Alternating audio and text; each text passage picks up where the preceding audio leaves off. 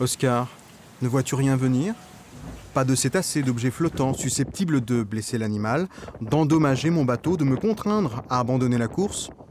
En haut du mât, Oscar observe et signale aux 18 skippers qui l'ont embarqué sur le vent des globes ce qui émerge, ce qui flotte.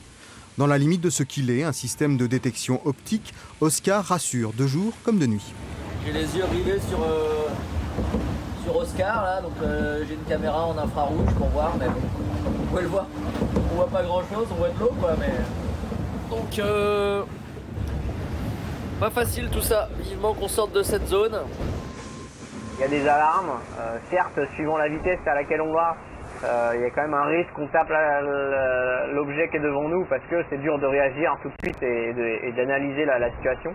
Euh, mais c'est quand même un gros plus, même si c'est 50% euh, de chance en moins de taper quelque chose, ça vaut vraiment le coup. Ce système de détection est un investissement de 20 à 30 000 euros, un outil opérationnel qui se confronte pour la première fois aux conditions extrêmes d'un vent des globes. Oscar est basé sur l'intelligence artificielle et donc sur euh, la base de données. Et plus on va, plus on va naviguer, enfin plus Oscar va naviguer, et plus on aura les moyens en fait de lui apprendre à détecter tous les objets flottants euh, devant le navire.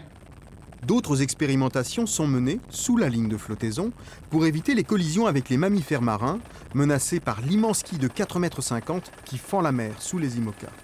Le Britannique Alex Thompson a initié un projet de pinger sur la quille qui émet des sons répulsifs et que le skipper Fabrice Amedeo a testé avant le départ.